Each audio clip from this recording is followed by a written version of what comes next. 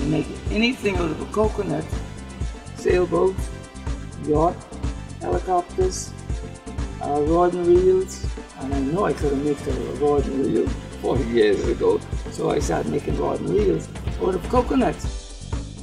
Actually, I make about 50 different things out of a coconut. It's not just a helicopter, but it's a fishing rod. Actually, as far as I know in Bimini, I'm the only one who's making this type of stuff uh, that's um, made in Bimini, handcrafted. Uh, you know, I try to use uh, all the talent that God gives me. I, I, don't, I don't want to leave none out. You got to use all.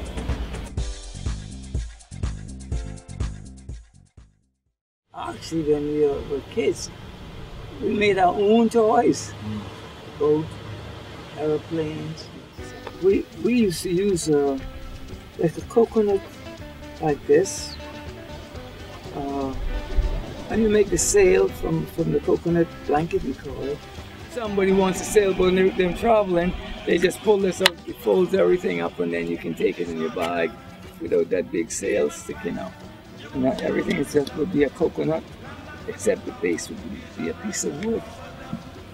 But um, we would sail these from the shores where Big Game Fishing Club is now out to Toklas Key. They never returned, but we made them in a way where they could have sailed from our hands uh, to Toklas Key. Then if you want them back from Toklas Key, then you have to swim over there and try to sail them back.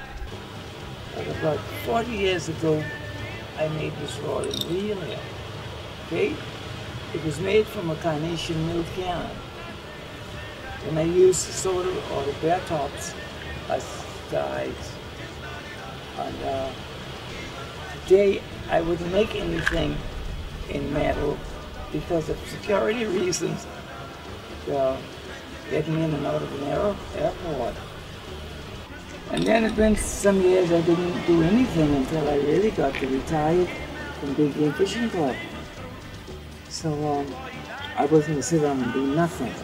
And I know I could have made a rod and reel 40 years ago. So I started making rod and reels out of coconuts.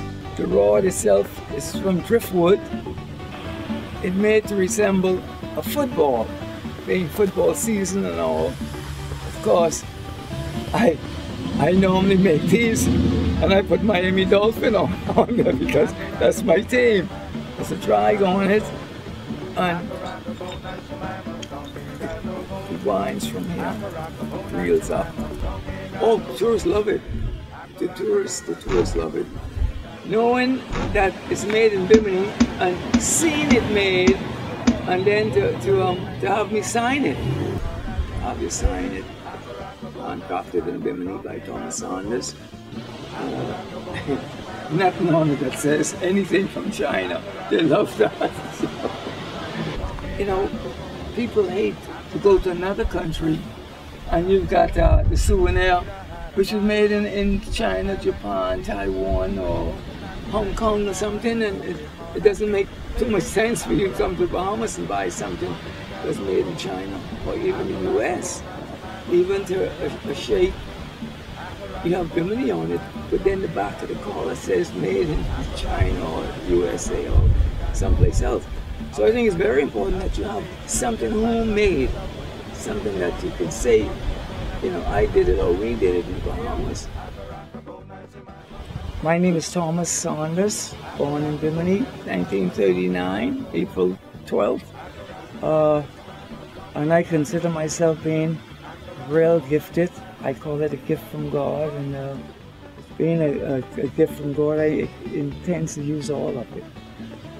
Yes, I would like to say to um, the younger generation to, you know, come to the plate and, and uh, start to do some some things uh, on the island, especially art.